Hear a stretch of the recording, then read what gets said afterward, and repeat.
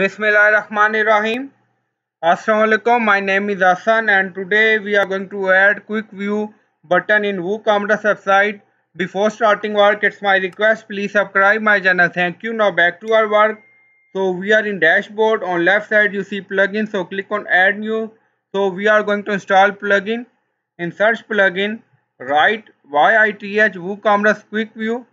So this is plugin we will use. So click on install now and then click on activate it. So plugin is activated now. On left side you see YITH, hover on it then you see quick view. So click on it. Now setting is open. You see general option, enable quick view, yes. Enable quick view on mobile, yes. So you can change label also, quick view. And then you see style option. So you can change modal window, background color now currently white. Also you can change closing button color and closing button hover color and then click on save option. And now go to shop page. Refresh the page.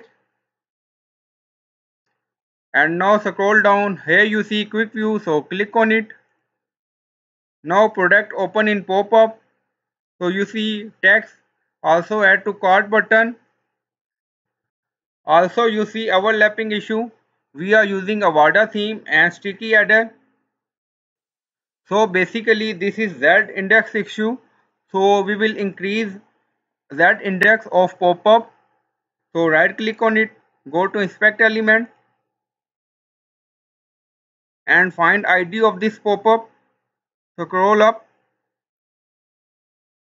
Here you see div ID YITH quick view modal. So click on it and then on right side you see CS visibility and opacity. So add here Z index and number. So here you see we added 99999 and now our lab issue fix.